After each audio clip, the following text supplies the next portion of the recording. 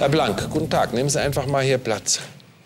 Ich muss Sie belehren, als Zeuge müssen Sie hier natürlich die Wahrheit sagen. Mit einer Falschaussage würden Sie sich strafbar machen. Sie heißen Kilian Blank, 19 Jahre alt, wohnen in München, ledig, Schüler der 12. Klasse Gymnasium, nicht verwandt oder verschwägert mit dem Angeklagten.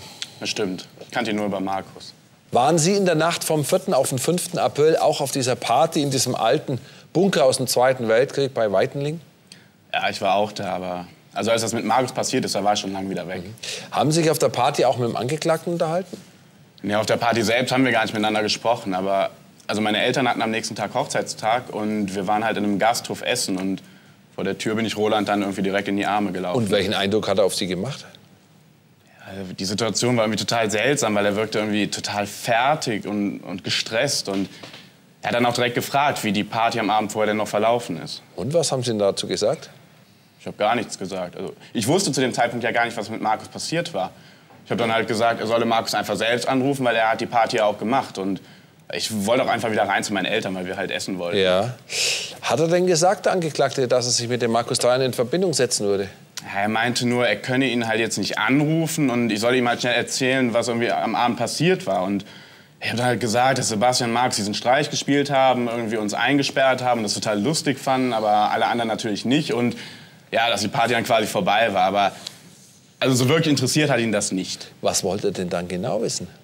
Ja, er wollte irgendwie wissen, ob Markus uns irgendwas erzählt hat. Und ich habe ihn auch gefragt, worum es denn geht, aber er meinte, das könne er mir nicht sagen. Und ja, da wusste ich auch nicht so wirklich, was ich ihm erzählen soll. Also es war total komisch, weil also ich habe ihn irgendwie als total lockeren Typ kennengelernt, so easy going, alles immer ganz relaxed und ja, an dem Tag war er total komisch und dann ist er auch plötzlich einfach gegangen. Ich glaube, dass der Bauer deswegen so aufgeregt war, weil er natürlich als einziger wusste, dass er den Herrn Trein nicht mehr selber fragen konnte, weil der nämlich schon tot war. Ja, aber Sie wollten natürlich trotzdem auf Nummer sicher gehen, ob der Herr Trein entgegen seinem Versprechen vielleicht nicht doch am Abend irgendetwas über Sie erzählt hat.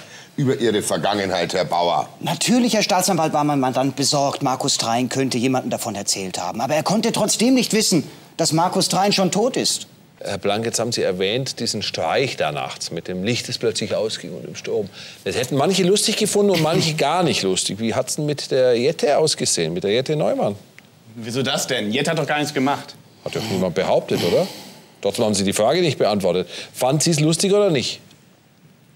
Klar, sie fand es nicht lustig, aber also Jette ist wirklich direkt nach Hause gegangen. Ich habe sie selbst noch nach Hause gebracht. Äh, die Party war vorbei und wir sind direkt nach Hause gegangen. Ist ja gut, Herr Blank. Wir haben schon verstanden. Ja, ich will einfach nur klar machen, Jette hat einfach nichts gemacht. Sie nehmen sie in Schutz? Ja, natürlich, sie ist doch meine Freundin. Mhm. Was heißt Ihre Freundin? Wie gut sind Sie befreundet?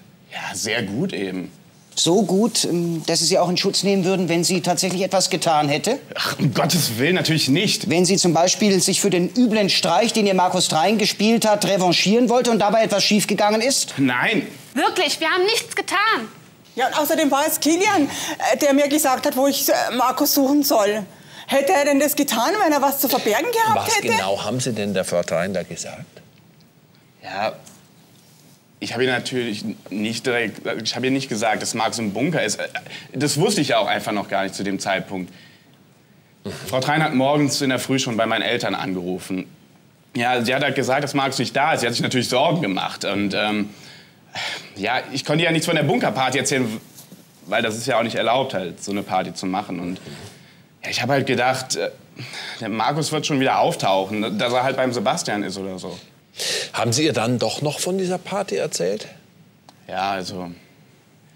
Also irgendwann hat der Sebastian auch angerufen und gefragt, ob ich irgendwas wüsste. Und habe ich natürlich auch angefangen, mir Sorgen zu machen. Dann habe ich Frau Trein angerufen und ihr von der Party im Bunker und im Wald erzählt. Und sie ist dann halt auch direkt in den Wald äh, gefahren, wo der Markus war. Also, wo er dann gefunden wurde.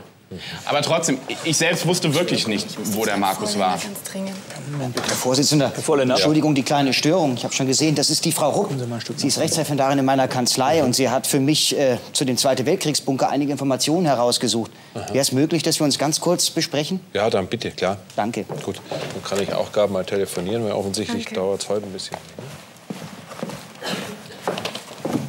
Hallo, Frau Rupp. Hallo, ich war im Liegenschaftsamt, ja. Das ist der Grundriss des Bunkers. Mhm. Können Sie sich mal anschauen. Hier. Mhm.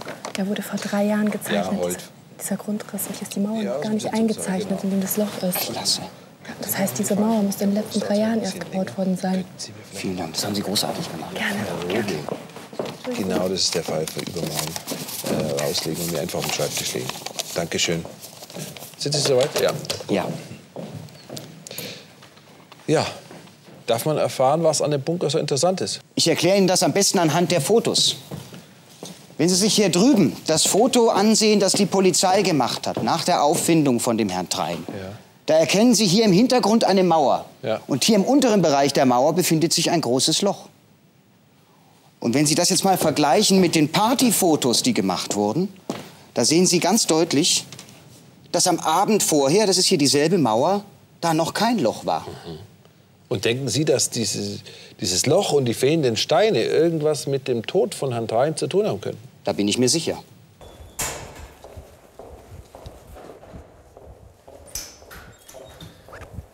Äh, hallo, Frau. Ähm, eine Frage. Sie arbeiten doch für den Anwalt Vorländer.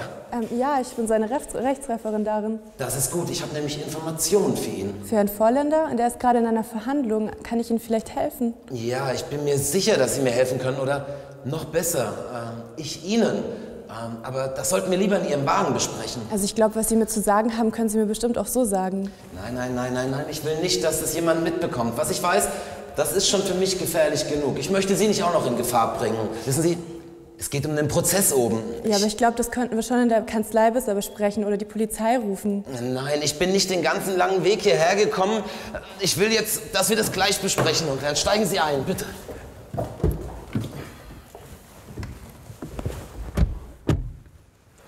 Noch Fragen an den Herrn Blank? Keine. Herr Blank, dann bleiben Sie unvereidigt, dürfen bitte hinten Platz nehmen. Der Zeuge Leonhard Diederich, bitte.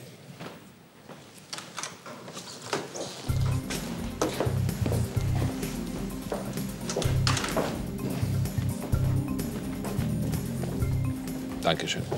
Ja, die Fesseln können Sie ihm abnehmen während der Vernehmung. Danke. So, nehmen Sie mal Platz, Herr Diederich. Sie sind heute hier als Zeuge. Sie wissen, dass Sie als Zeuge natürlich die Wahrheit sagen müssen. Mit der Falschaussage würden Sie sich strafbar machen. Sie heißen Leonhard Diederich, 25 Jahre alt, derzeit in Strafhaft in der JVA München Stadelheim. Ledig, gelernter Bäcker, verwandt oder Verschwäger mit dem Angeklagten sind Sie nicht. Wie Sie wissen, wird dem Angeklagten vorgeworfen, in der Nacht vom 4. auf den 5. April 2009 den Schüler Markus Drein mit dieser Holzlatte hier getötet zu haben. Sind Sie befreundet mit dem Angeklagten? Ja, das ist richtig. Wir saßen in, einer, in, in derselben Abiturklasse bei Herrn Steurer. Der Steurer bereitet uns aufs Abitur vor im Knast. Jetzt kennen Sie ja den Angeklagten schon länger. Ja? Würden Sie sagen, während seiner Haftzeit hat er sich verändert? Total. Ich meine, er war am Anfang äh, der totale Nazi, ja. Und, und, und ich war auch richtig angepisst, dass er sich neben mich gesetzt hat, ja. Aber ich habe halt gedacht, einmal Nazi, immer Nazi. Aber ich muss Ihnen ehrlich sagen, Tag für Tag über die Jahre, der hat sich so verändert. Heute hilft er den Leuten im Knast. Sogar, sogar ein Ausländer hilft er, wenn er irgendeinen Brief schreiben muss oder sonst irgendwas. Auch von der Gewalt ist er total abgekommen. Also völlig weg. Wenn Sie wollen, erzähle ich Ihnen gerne eine Geschichte drüber. Gut, wenn es uns weiterbringen kann. Das ist eigentlich ganz einfach. Also wir haben neuen gekriegt hier im Knast und das war so ein kleiner Giftzwerg einfach so. Immer eine Riesenklappe, nicht besonders groß, einfach ein Würstchen so. Und ich muss ehrlich sagen, er hat von Anfang an hat er versucht, den, den zu provozieren und hat sich vor ihm aufgebaut und, und hat ihn geschubst und gerempelt und alles Mögliche. Aber er hat sich nichts anmerken lassen. Er ist ganz cool geblieben. Aber irgendwann kam es dann auf die Spitze. Ja. Da hat er eine Milchtüte genommen und hat sie ihm einfach über den Kopf geschüttet. Einfach so. Und wir standen alle da und haben gedacht, puh, jetzt wird's losgehen. Aber ganz im Gegenteil. Der Roland, der hat sich das Gesicht abgewischt, hat sich umgedreht und ist einfach weggegangen. Ja, wie ich vorhin schon erklärt habe, hat sich mein Mandant komplett von der Gewalt abgewandt. Aber völlig kann ich nur bestätigen. Ich meine, der Junge hat sich so im Griff mittlerweile, ja. Und ist ja auch logisch. Ich meine, der hat so viel verpasst von seinem Leben. Und wenn er rauskommt, will er bestimmt nicht noch mal rein in den Knast.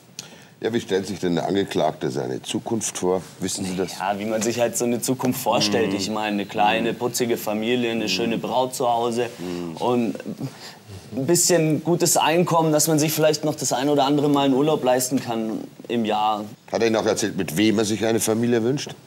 Ja, er hat mir mal von so einem Mädchen erzählt. Ja, ich. Ah, die, die Eva hieß sie, glaube ich. Ja, die müsste gewesen sein. Ich habe mal ein Foto von ihr gesehen und er hat auch gesagt, es wäre die einzige Frau, die er sofort heiraten würde. Ja? Und Also ich kann mir schon vorstellen, dass wenn er dann rauskommt, dass es da Probleme gegeben hätte, weil sie hat ja immerhin davon nichts gewusst. Und, und bestimmt hätte es dann irgendwie Komplikationen gegeben oder sonst irgendwas. Aber eigentlich, ich habe es auch nicht wirklich so jetzt als Problem empfunden oder, oder sonst irgendwas, aber... Ja, sie vielleicht nicht, aber... Ja gut, ich meine, es ist ja klar, ja, also, dass er nicht will, dass es gleich jeder weiß. Ich meine, ist doch logisch.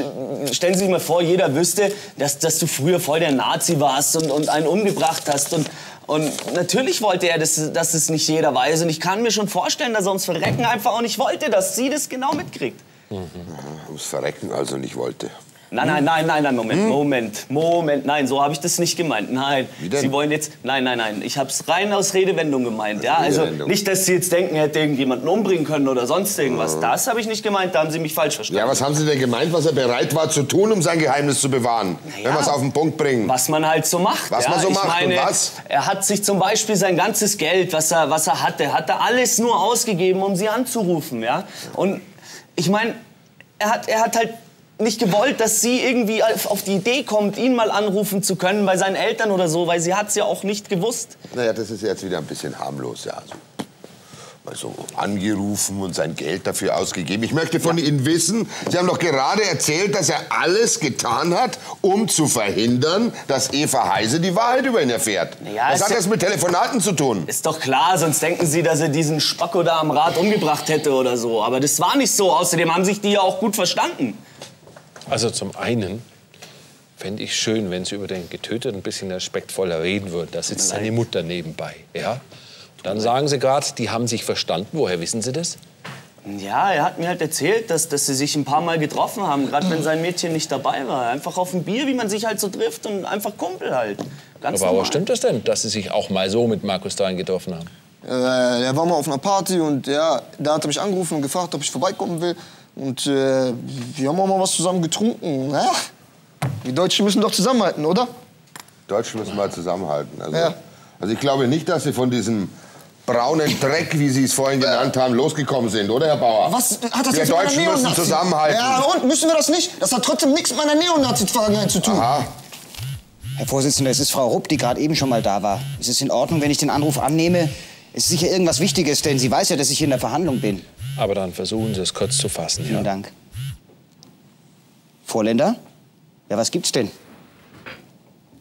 Ich soll zu Ihnen kommen? Jetzt gleich? Ah, Ich bin doch in der Verhandlung.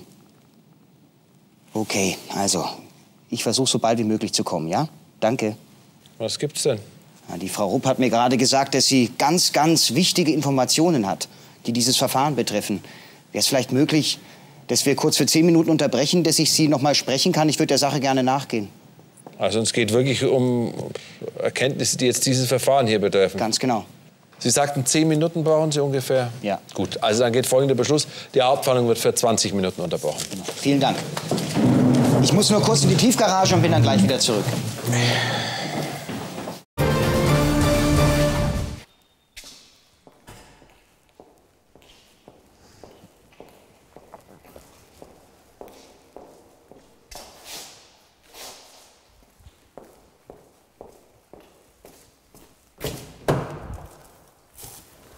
Gibt's denn so Wichtiges, Frau Rupp? Mich gibt es und jetzt losfahren.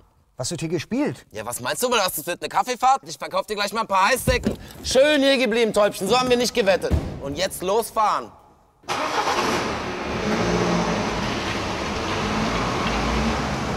Ich, Herbert, Herbert, hier stimmt irgendwas nicht. Herbert, da ist eine Frau entführt worden. Doch, doch. Sie ist in ein Auto gezogen worden. Ja, genau. Polizei, Polizei. Ich suche einen Polizisten. Hier muss ja irgendwo einer sein. So, und wo ist denn der Herr Verteidiger? Keine Ahnung, der wollte ja in die Tiefgarage, ne? Ja, und seitdem haben Sie nichts mehr von ihm mitbekommen, oder wie? Nein. Herr Staatsanwalt? Herr Vorsitzender, ich bin wirklich auch überrascht. Normalerweise ist der Herr Volländer absolut pünktlich. Also, bin mir auch sicher, wenn er nicht da ist, dann hat er einen, einen guten Grund dafür.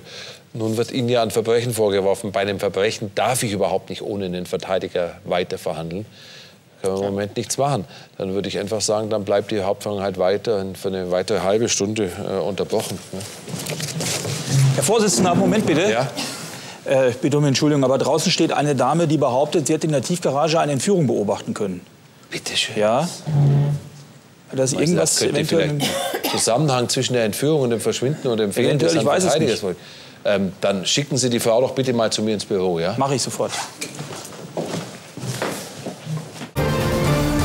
Der hat sie in ein Auto gezogen und dann ist das Auto losgefahren und auf dem Fahrersitz, da war noch ein anderer Mann, der hat eine Glatze.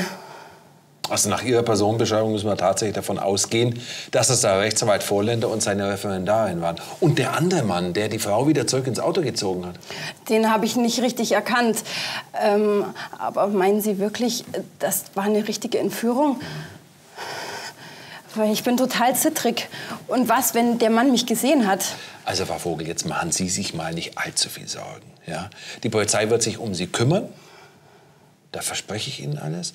Ähm, Sie warten jetzt mal draußen. Ich bringe Sie gerade raus. Herzlichen Dank soweit erstmal. Ja? Ich bringe Sie zur Frau Jung raus und da warten Sie mal bitte, bis die Polizeibeamten da sind. Ja? Okay. So. Also, danke erstmal. Danke.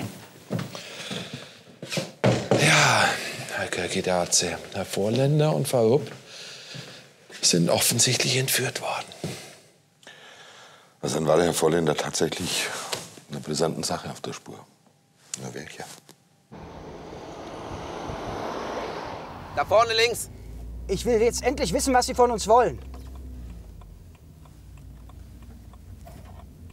Da vorne wieder links. Mach schon. Ich fahr ja, ich fahr ja. Aber wenn Sie uns nicht sagen, was Sie von uns wollen, dann können wir Ihnen auch nicht helfen. Du hältst dich wohl für oberschlau.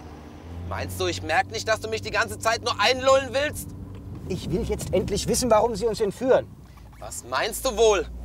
Meine verdammten Steine will ich wieder haben. Jetzt klingelt's wohl. Ich sag euch was. Wenn ich nicht meine Diamanten zurückbekomme, dann mache ich zuerst sie und dann dich fertig. Ja, vielen Dank. Sie halten mich in jedem Fall auf dem Laufenden. Danke. Und? Tja, das äh, Überwachungsband aus der Videokamera aus der Tiefgarage wurde Ja. gesichtet.